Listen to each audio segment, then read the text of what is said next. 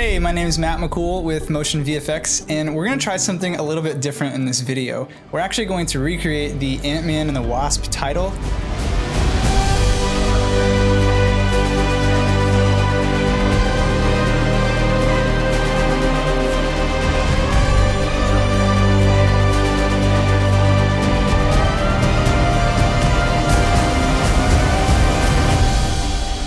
So as you can tell, this is to be kind of a long video. There's a lot packed into this, and if you're unfamiliar with Fusion, this might be a little bit overwhelming, but I hope that you have fun and learn something new. We also included a couple of the assets that we're going to be using in this comp. You can download them in the description below, along with the fonts that we're using if you want to follow along. But with all that out of the way, uh, let's go ahead and jump into Fusion and have some fun.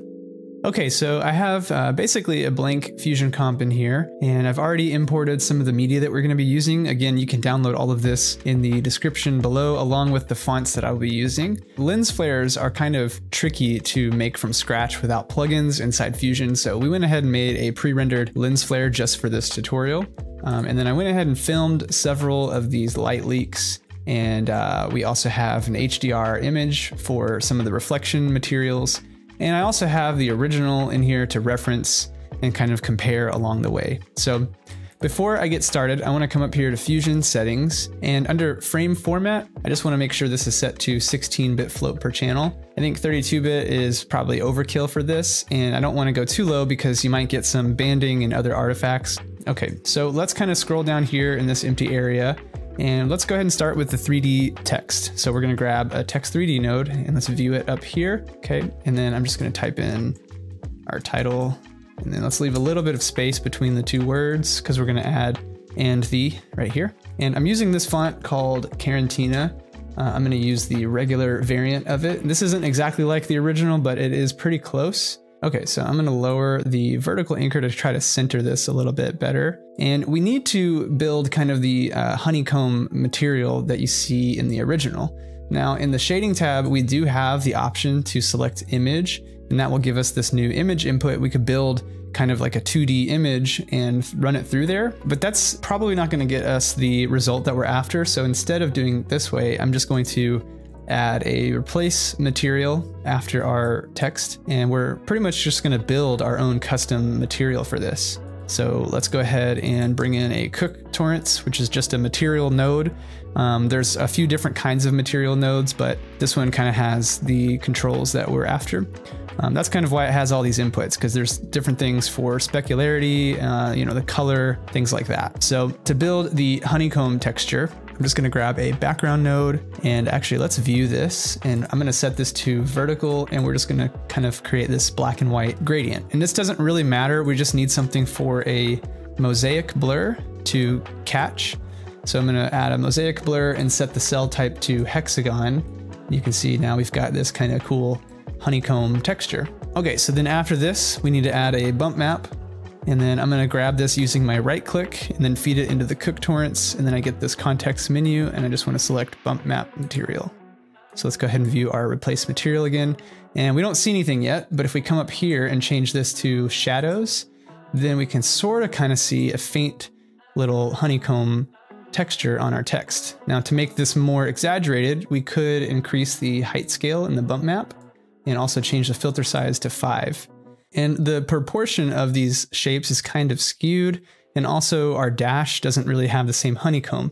So to fix that, we can go into the text 3D node, and I'm gonna change the mapping level from character to word. Now, even though we're not using this material, this setting right here does actually impact the way the replace material works. So we're gonna set it to that, and that does fix the dash here, but now our letters beyond the left side and actually over here um, they're just kind of getting horizontal lines. So if we go into the bump map, we can change the wrap mode to wrap, and that will just, you know, basically duplicate the texture. And at this point, I think I need to probably increase the frequency. I just want to kind of find a good value where it looks like there's a seamless wrap. And I think to make this a little bit more exaggerated, I'm gonna add a edge detect after the mosaic blur. And let's reduce the edge width a bit like that. So that's pretty much our texture. Let's go ahead and create the bevel around the text. So We could come in here and just extrude it, but the bevel will also get that texture, which we don't want. And so instead of doing it this way, I'm gonna actually create an instance of this text. So I'm gonna copy and then click away and hit Control Shift V, which will paste an instance, which means it will follow the parameters from the main text unless we specify otherwise.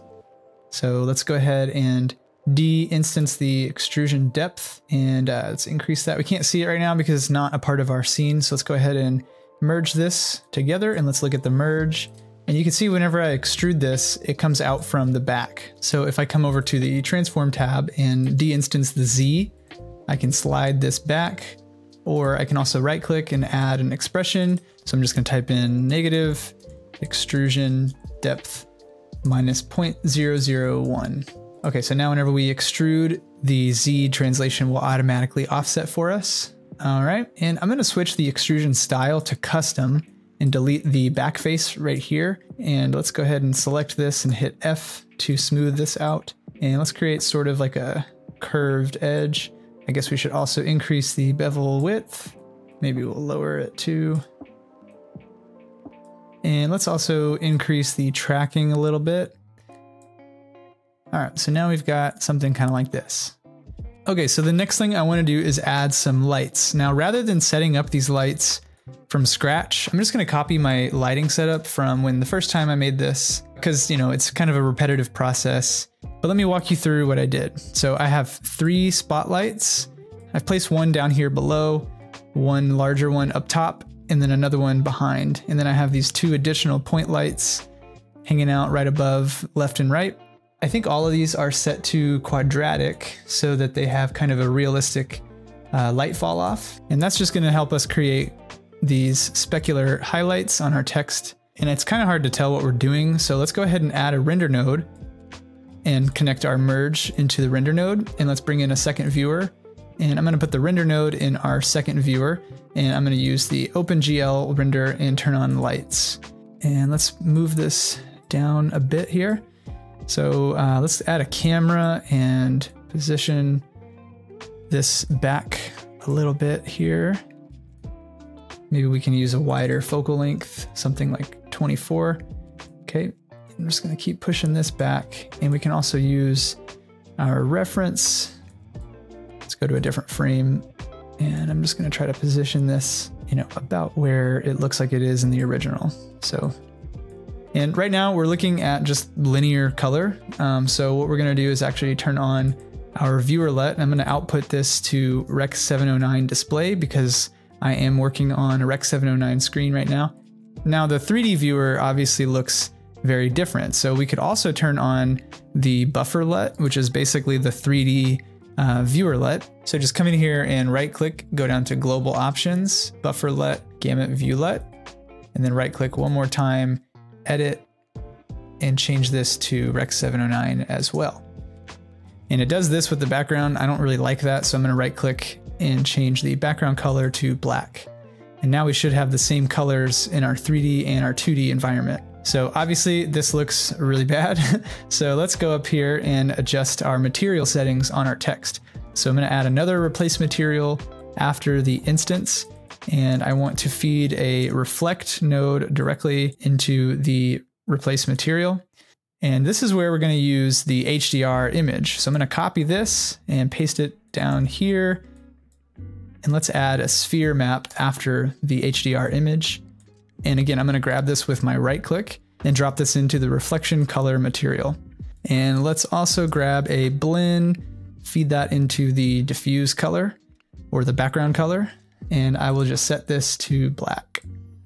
Now I really want this to look a lot more shiny, so we can go down to specular, and I'm just gonna increase the intensity to 16, and I'm also gonna come into the reflect node and turn the glancing strength all the way down, the face on strength a little bit higher, and reduce the fall off. And maybe we could also add a little bit of a color hue to the specular and the blend. So let's probably do kind of like a bluish color here. And uh, let's maybe add some color to our Cook Torrance. This is on the front face of the text. Now we could adjust the color using the diffuse inside of the Cook Torrance. Or we can grab a background node and feed it into the diffuse color input. And with the background, we can actually change this to gradient. And I'm gonna change the gradient type to reflect. And let's just do something kind of like this. Maybe we'll round these numbers. So 0.5 and zero. And I'm gonna do something like almost black for the outer color of the gradient. And then for the center, let's do something a little bit lighter. Let's actually compare this with the original. Now it's gonna look different because there's a lens flare, but we might have to come back and tweak this setting later. Okay, so let's create the sort of abstract background that you see here. Um, so I think we can do that using uh, a few fast noise nodes. So I'm gonna grab a fast noise and let's just merge everything after our render node on top of the fast noise. And let's view that merge. And then in this fast noise, I'm gonna set this to a gradient with a radial gradient type. And we can grab these and try and create kind of a, uh, maybe a dark blue, whoop, not purple, kind of a darkish blue gradient here. Push this way down there. Actually, let's compare this. Maybe we need to increase the detail. We can also tighten up the gradient like this. Okay, and then let's try and recreate these uh, like abstract shapes. They almost look like an iris or something. Um, so again, I'm gonna grab another fast noise and merge it on top of this one. And uh, in the merge, I'm gonna set the apply mode to screen. And let's see what this looks like. So in the fast noise, let's do another radial gradient. and kind of push this into the center there. Now this time I'm gonna create kind of like a really tight shape here, something like this. And you can hold control or command and grab these little triangles and create a duplicate. So I want these two to be pretty much black. And then this middle one, let's try and let's twist this around. Let's try and match that color.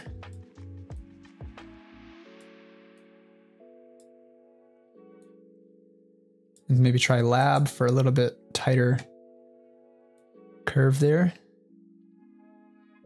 I'm going to increase the uh, detail a little bit here too. And then if I unlock the X and Y scale, I can reduce the Y and play around with the X a little bit. Maybe we'll find a better frame. And yeah, I think that's like pretty close. It's also got like these streaks. So what I'm gonna do now is grab a fast noise again, and let's look at this over here. And I'm gonna unlock the X and Y, reduce the Y all the way, and increase this X scale to maybe like 100. That's gonna create these uh, stripes. And then after that, we can add a coordinate space. And with the coordinate space, we can set this to polar to rectangle. Now we have these kind of outward streaks, and we can feed that into the mask input of our merge, and now we get sort of like this streak effect. I think we need to darken this uh, fast noise. And let's try grabbing another fast noise. And with this one, we're gonna do something kind of similar. So we're gonna stretch this up. Maybe I do want some Y scale.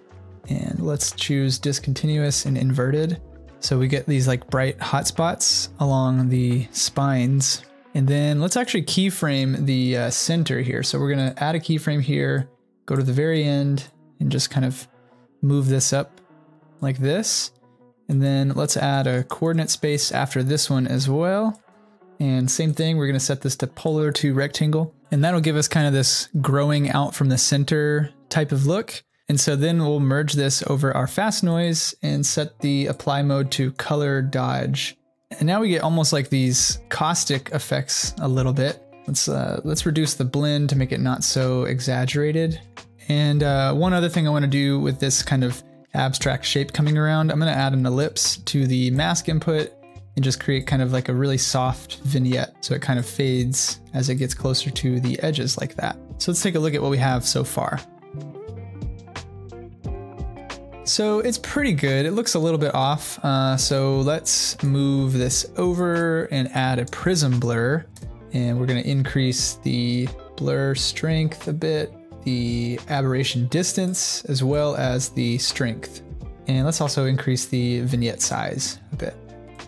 So let's kind of move this and let's work on the subtext. So if you look at the original, there's the thicker outer layer and the skinny highlight sandwiched between, and then there's the front text. This is gonna be similar to the main text. So let's bring in another text node and uh, let's see, let's connect the camera. I'm gonna move the lights over to this side and I'm gonna connect the camera so that it creates another merge. I don't want this to be inside of the same merge as everything else because it's gonna get affected by these lights um, I'm gonna treat this kind of as a different scene.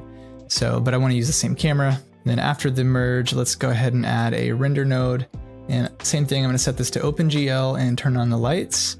And let's merge this after our main text render. Okay, so I'm gonna view this merge over here and let's rename this text. And uh, of course we need to type in our text here. And this time I'm gonna use uh, this font, which again is also available in the description, we're using the regular variant of it, and then um, let's go ahead and actually let me go back to the render node and turn off lighting so I can at least see this a bit better just to uh, kind of arrange where this is going to fit in our scene. So let's move it forward a bit and we need to increase the tracking and the scale and play around with the position. All right, that's probably close enough. And now I really want to work on building kind of the uh, texture of our subtext here. So I'm going to go ahead and create a couple of instance nodes and we're going to connect these into the merge. Let's go to the main text and we're just going to extrude it. Let's click on the one that's going to be in the back and we're going to de-instance the extrusion, the bevel depth, and the bevel width. Let's bring this up just a little bit and then increase the bevel width and then let's decrease the extrusion so we get kind of this staged sort of thing. And in the middle one, we're gonna kind of split the difference.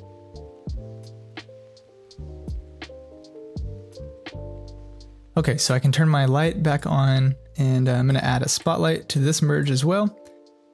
And using the target, we can point this at the text and kind of move it up high. Let's also mess with the cone angle and the decay settings. All right, so then I'm gonna add a couple of replace materials after both of these instances, and we're gonna go grab that same HDR environment, and we're just gonna paste this over here. And uh, in these replace materials, I'm just gonna add a reflect, oops, a reflect node, feed that into this one, and we're gonna have two separate ones with different settings. So we got two reflect nodes, and in our HDR, we're gonna add a sphere map just like before. And this is gonna go into the color material. And let's copy the sphere map. Okay, so let's see here. I'm gonna go to this reflect node. This is going into the center skinnier piece here. And we're just gonna set this to constant and we can leave this at one. And uh, let's add a color corrector after the HDR image on the way over to the reflect node. And we're just gonna kind of tint this a little blue maybe increase the gain. Okay, and then on the reflect node that's going into the back thicker part of the text, uh, let's actually add a blend, and this is gonna go into the back, oh, oh, this is actually supposed to go in the color material, and then our blend is gonna go in the background. So with the blend, we'll just make this a solid black color again. And I'm just gonna copy my color corrector, put another version of it over here, but then instead of using the gain, we're gonna just reduce the gamma. And then let's go to the main text, the center inside text, and just push this kind of towards like a darker blue. And in the sphere maps, we can play around with the rotation to try to get a good location. And I'm not liking these harsh uh, details in those shiny bits. So what we could do is add a blur node after our HDR on the way over to the sphere map. And then we'll just maybe increase this blur a little bit. All right, so now let's create the uh, animation where each letter kind of falls back.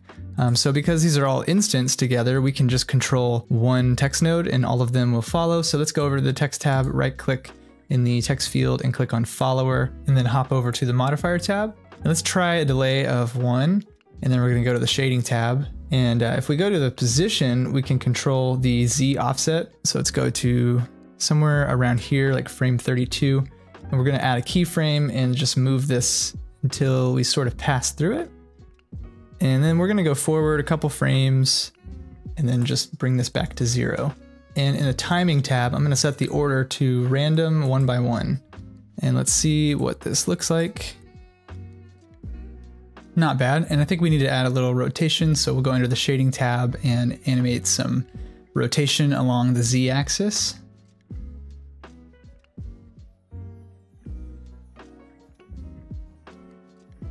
Okay, so for the echo effect, I'm just gonna come down here and make a little more room. And uh, I'm gonna take a copy of the centerpiece. This is what's accounting for the center kind of glossy, thin version of the text. So I'm gonna copy this instance, paste a new instance out here. And let's also take our camera and create a new merge. And we're just gonna grab a render node and merge this over everything else. Okay, let's see if we can make some more room here. And in this version of the text, what I want to do is go to the shading tab and I'm going to de-instance use one material and we're going to check this. And then I'm going to de-instance this whole color group and we're just going to zero this out to create a transparent face and all we have is the bevel. If we actually view that text, we can see how that looks. I'm to grab a background node and feed this into the mask input. And in the background, I'm going to change the channel to luminance and let's feed that back out to the merge node. And in the color, let's just make this kind of a blue. And then after the background, I'm gonna add a duplicate node. Let's see, let's do something like this. Okay, and in the duplicate node, let's create five copies with a negative one time offset. So now we have this kind of echoing effect. And under gain, I'm just going to set each of these to 0.5. So they basically become more and more transparent the further they echo. Let's also add a soft glow after our background and maybe do something like this. So now we got sort of the echo effect. Uh, there's a few problems. So I don't want the glowing copy of the text to also appear over everything that we just built. And so because we're using the luminance value as the mask input of our background, what I could do is add a fog 3D node right before the render node, and let's set the color all the way to black. And if we tweak the far, then you can see as the text gets further away from the camera, it will essentially disappear into blackness. And again, because we're using the luminance channel on our background node, that effectively means they disappear. And another thing that I'm noticing is when the text is really close, we shouldn't see the glowing version of the text on top. So what I could do is after my duplicate node, I'm just gonna add a time speed and set the delay to one. And let's also add a little bit of motion blur in the render node, maybe like eight. And uh, that's probably too um, blurry because it is moving pretty fast. So I'm actually gonna decrease the shutter angle Okay, this is really coming together, I think. Um, there's a few things we need to add. We need to add the kind of outline effect around the main text. We need to add some camera shake, lens flares, particles, that kind of thing. Let's work on the edge around our uh, main text. So again, I'm gonna grab an instance and come out here and just paste. And let's grab a merge, plug in our camera into the merge, and then we can use a renderer. We don't need lights and shadows for this one.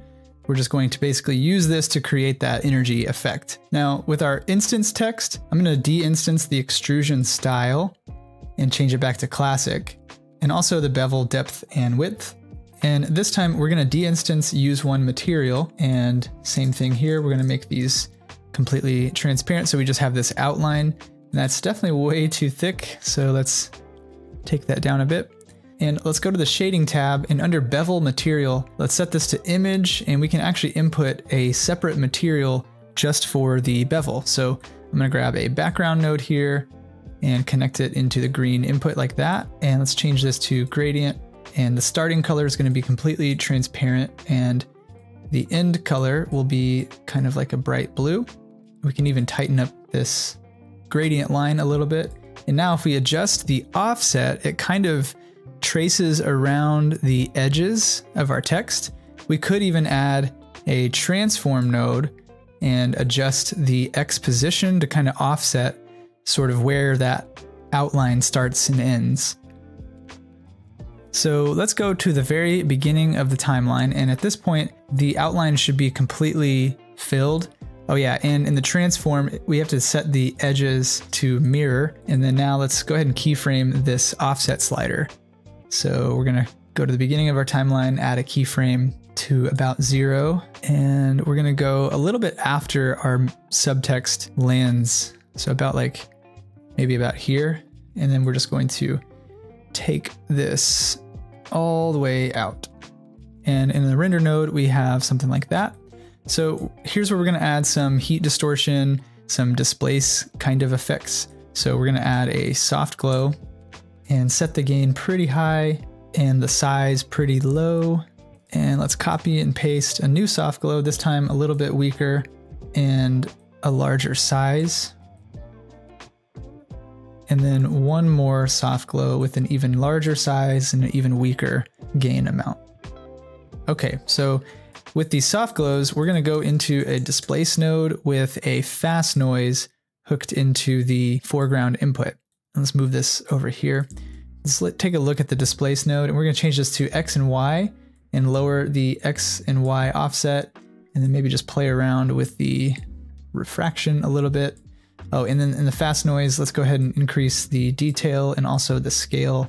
Let's go to like 35. I'm gonna add a little bit of a seethe rate and also we're going to keyframe the Y position to kind of move down like this. So in the very beginning, I'm gonna add a keyframe for 0.5 about here. Let's just lower this to about 4.5. And it looks like I adjusted the transform. So let's go ahead and adjust this offset of our background so that it completely disappears.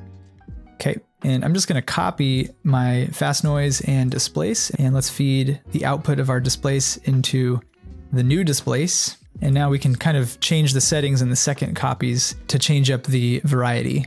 Okay, so I'm gonna move both of these sets of displacement, and I'm gonna take the output and just re-merge it back over the original soft glow, but in the merge node, we're gonna lower the blend just a little bit so that we're kind of getting a sharp edge in addition to the sort of energy field that it's creating.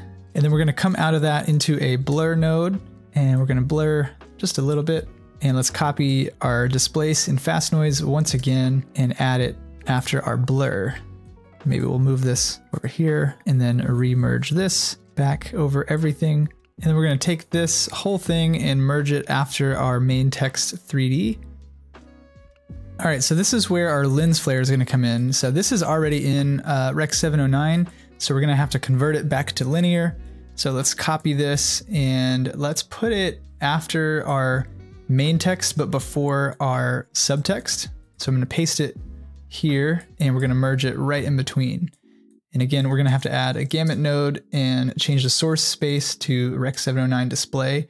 And let's go to the merge node here and just subtract the alpha gain. And we definitely don't want it to start on frame zero. So let's go to the frame where the subtext starts to appear. I'm gonna go back one frame and this is frame 32. So I'm gonna slide my global in and out points to start on 32 and then I'm gonna hit loop so that it really kind of starts there. Okay, and maybe before the gamut, let's add a soft glow here and let's add a keyframe and go forward about here and then just drop it all the way. So that way it sort of blooms whenever it comes on.